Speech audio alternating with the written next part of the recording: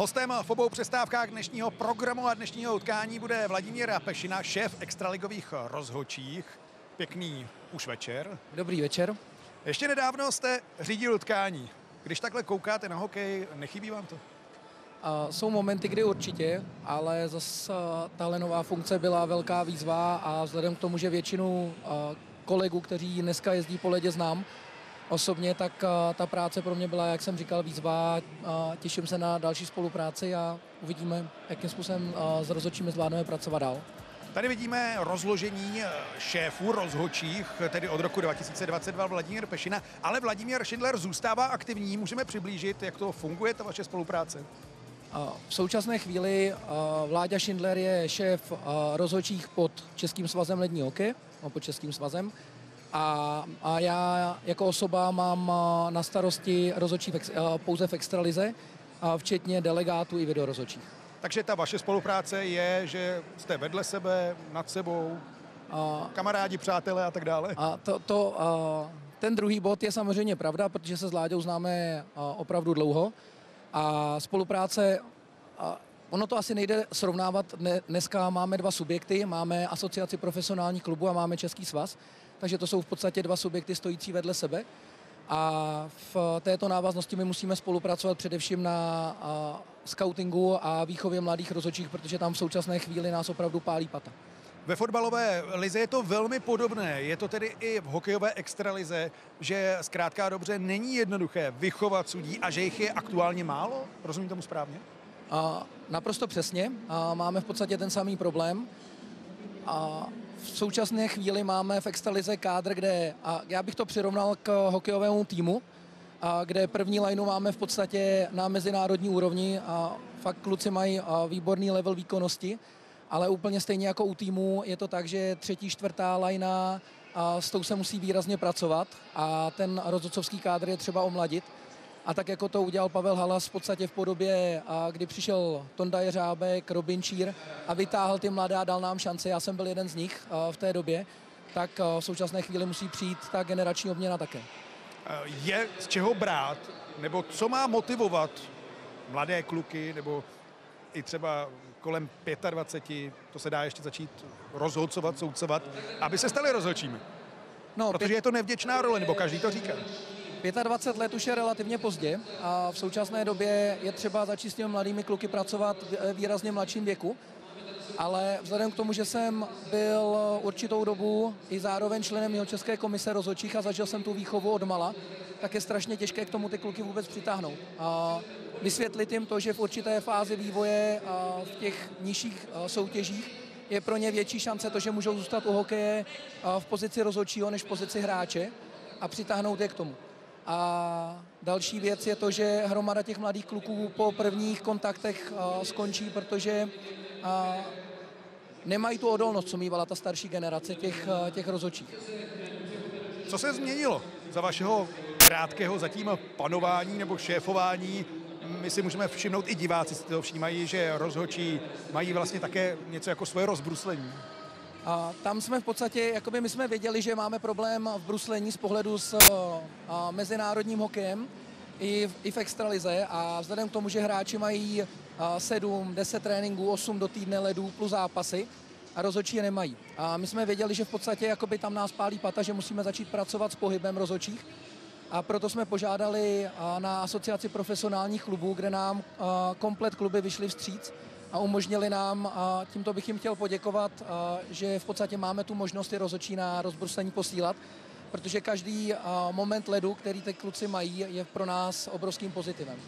Co se chce ještě změnit, nebo co hlavně vy chcete změnit ze své pozice v nejbližší době? My jsme ještě v návaznosti na ten pohyb jsme zavedli pravidelné tréninky pro celou skupinu rozočích, a nejen pro profesionální rozočí, ale i pro hlavní čárové, který nejsou v profi programech. Jaký je teď zhruba poměr profi rozhočí? V současné chvíli rozhočí. máme sedm hlavních profi rozhočích, mezi čárovými nemáme profesionální rozhočí. A na nominační listině máme v současné chvíli 21, 21 hlavních. Ale my jsme to pojali v podstatě tak, že chceme pracovat komplet celou tou skupinou. Už máme za sebou dva tréninky a jeden byl ve Velkých Popovicích, druhý v Hradci Králové. V současné chvíli nám umožnili kluby to, že máme možnost trénovat u nich na zimních stadionech, takže objíždíme s tou skupinou a teď nás čeká 17. listopadu seminář a trénink ve Vítkovicích a v podstatě se to skládá z dvouhodinového bloku na ledě a dvouhodinového bloku na učebně. Kromě bruslení je ještě nějaký nešvar, který se dá úplně odstranit? Nebo pracovat na tom?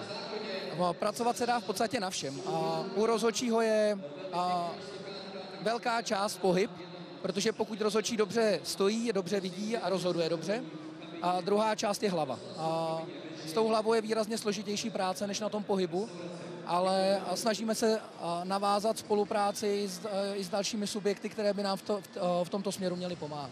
Ještě poslední věc v téhle části a to je Coaches Challenge. Jak to s ní vypadá? Coaches Challenge ohledně offsideových situací. Zdali by mohla být použita v dohledné době v extralize, třeba od dalšího ročníku, protože by to rozhodně pomohlo. A bavíme se o Coaches Challenge na offside. Ano. A já bych řekl, že kluby v asociaci profesionálních klubů na to mají eminentní zájem a já věřím tomu, že je to cesta tím správným směrem. A my jsme si v prvních čtyřech kolech udělali drobnou statistiku a zjistili jsme, že třeba utkání, které bylo opravdu těžké, krásné hokejově, tak Kometa Pardubice ve druhé třetině kluci rozhodovali 8 ale centimetrových offsideů. A všechny se jim povedlo rozhodnout správně, ale to opravdu se bavíme o tak drobných záležitostech v rychlosti, že Coach Challenge by pomohla určitě celému hokejovému prostředí, nejen rozhodčím, ale i klubům. Když se podíváme obecně na pravidla, jakým směrem se teď vytvářejí, jakým směrem jdou vůbec v hokeji? Tady jsou ty novinky. A hokejové pravidla se je v podstatě snaha o to, aby se sjednotili průřezem celým světem.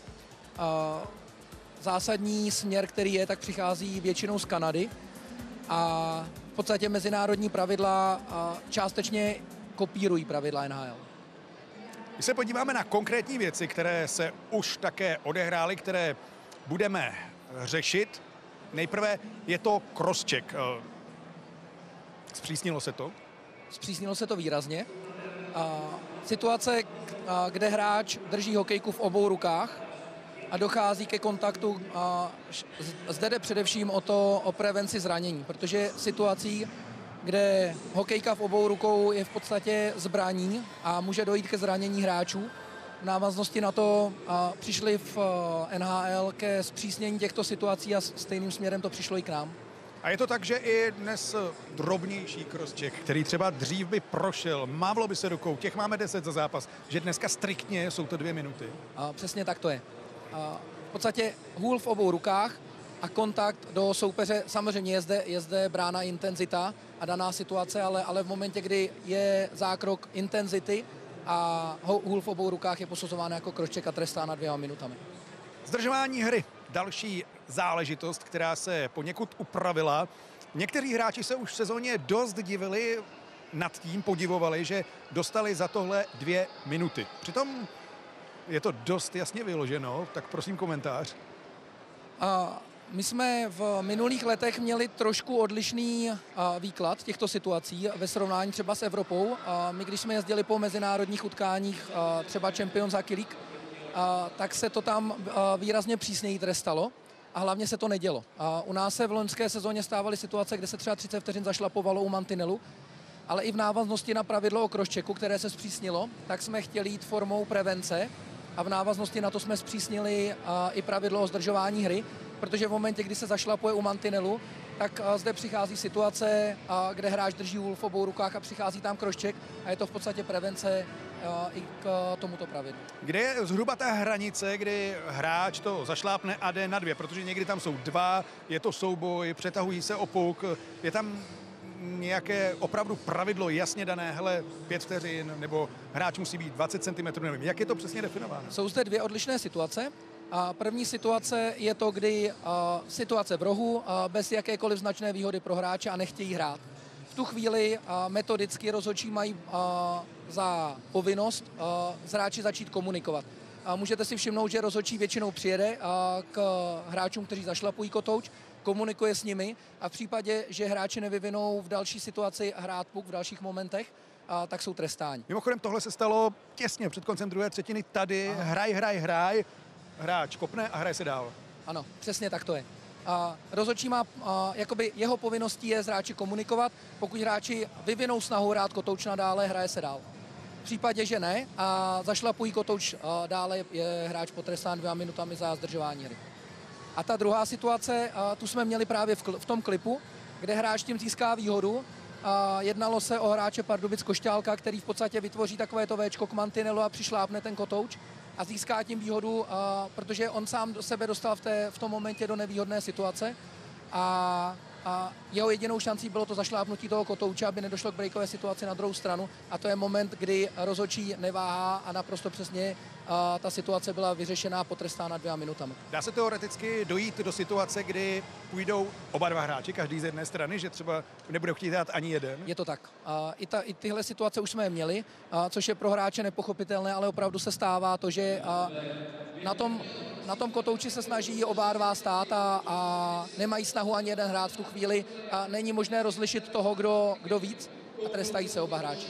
My jsme viděli v našich přenosech eh, ještě další zajímavé okamžiky, takže poprosíme o třetí záležitost, což je rozehrávka brankáře, v tomhle případě Kacetla, sutkání Třinec Pardubice, vyklepání puku směrem dopředu. Ano, a pravidla nám říkají, že hráč nesmí rozehrát rukavicí kotouč směrem dopředu.